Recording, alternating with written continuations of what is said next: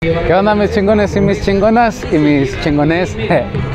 El día de hoy pues estamos aquí en Aguascalientes, vinimos a la feria, pero pues vamos llegando apenas, pues vamos a, hacer una visita gastronómica y pues también alcohólica, pero más al rato. En videos anteriores les he dicho que no voy a tomar, pero pues este video sí. Llegamos al mercado Jesús Terán, gracias. Ay, muchísima comida, no sé ni qué, ni qué se me antoja. No he comido desde que, desde que veníamos en camino, hicimos como cuatro horas a lo mucho. No, no es cierto, hicimos como cinco horas. Y desde entonces pues no he comido nada más, llegamos al Oxxo y me compré unos, unos chetos Hot que no pueden faltar. Pues lo típico de un mercadito, donde sea te ofrecen comida, comida muy barata, inclusive frutas, verduras también, cosas pues naturales, chicharrones, nada del otro mundo. No sé, se me antoja un lonche o unos camaroncitos con un 12 de bote rojo. Pero pues realmente no sé qué voy a comer, a ver quién, a ver qué se me antoja o a ver qué vendedor me convence más. Ahorita vengo eh, dispuesto a comer lo que se me lo que se me cruce. Ven, como podemos ver, muchísima gente. Y bueno, subí al segundo piso para mostrarles, pero es como que más de lácteos acá. Entonces lo bueno, lo sabrosón, es aquí en la planta de, de abajo. Ahorita voy a llegar a comer a, a, un local donde venden mariscos y también voy a pasar a otro local donde venden pues tortas de carne. Yo especialmente pues soy más carnívoro, los mariscos sí me gustan, pero no, no son mi fuerte. Me imagino sería, sería divertido trabajar un día por aquí, pues hay, yo creo que es un día muy variado, yo creo que cada día es diferente, entonces pues estaría chido. Pero bueno, sin más detalle, pues vamos a, a pasar a comer a los mariscos. Llegamos a los mariscos Puerto San Ángel, me pedí un coctelito y chequen algo que me gustó mucho de este negocio, es que tienen de aquel lado el ostión, o sea, viene siendo pues ostión fresco porque pues te lo abren aquí, el ostión. y pues bueno, acompáñenme a comer, la verdad tengo muchísima, muchísima hambre, les digo, pocón. Les digo, no había comido desde que salimos carretera. Me sabe a gloria el coctelito. Está rico, está bueno, nada fuera de lo, de lo común y es lo que andamos buscando, algo fuera de lo común. Del 1 al 10 pues le pongo un un 7, un 7. También pedimos una tostadita de ceviche, entonces pues vamos a, a pasar a probarla. Nada, sin duda alguna sí voy a tener que ir por mi lancha, ahorita no, no voy a llenar, pero bueno, provechito. Mm.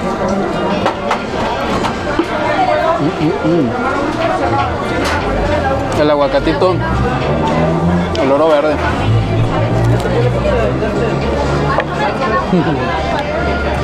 La tostadita sí está especialona, muy, muy rica. Y es que chequen el espacio muy reducido que tiene el muchacho para cocinar. Es el único cocinero que está atendiendo alrededor de más de 12 personas. Es como un área de, no sé, 4 por 3. O sea, debe ser todo un crack el muchacho para estar bajo presión con la gente y despachar rápido las comidas. ¿Por qué me fijo en eso? Porque yo también trabajo en una cocina. y también en una cocina reducida, entonces más o menos sé lo que es estar solo en una cocina y tener la presión de que hay gente y pues la gente al final de cuentas tiene hambre y hay que atenderlo lo más rápido que, se pueda y lo mejor que se pueda también.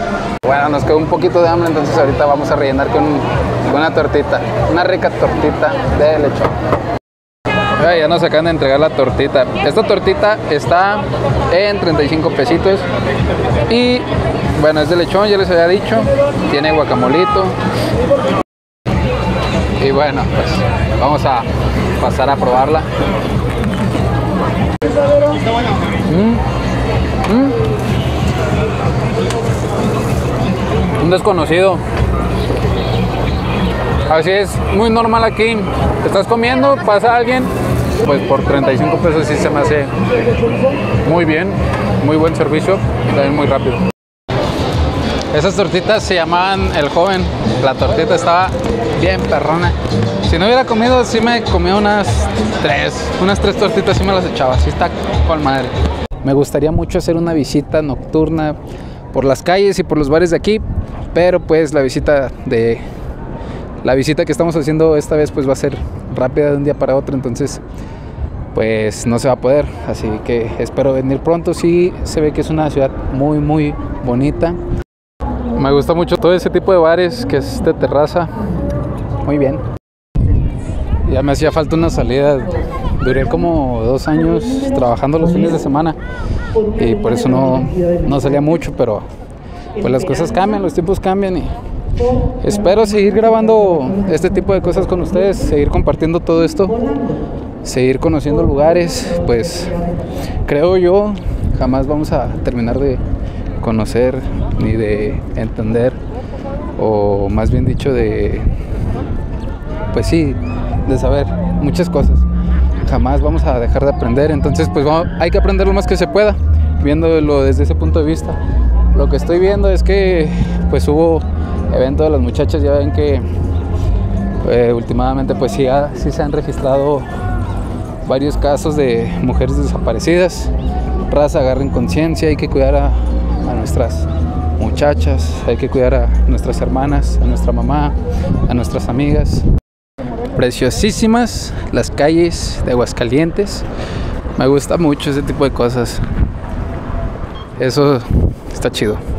Hay elotes de sabores. pedimos una de tuétano. Oigan amigos, una preguntota. Porque me llama mucho la atención. Bueno, una pregunta. pelos en el fundillo? Les digo que hay raza desconocida que llega así de la nada, sacan de pedo. Bueno, nada, ya bien. Eh, en su ciudad, ¿por qué le dicen chimichurri a la chimichurri? Es un aderezo. Puede ser chimichurri de habanero. Se me hizo agua la boca, se me antojó el elote.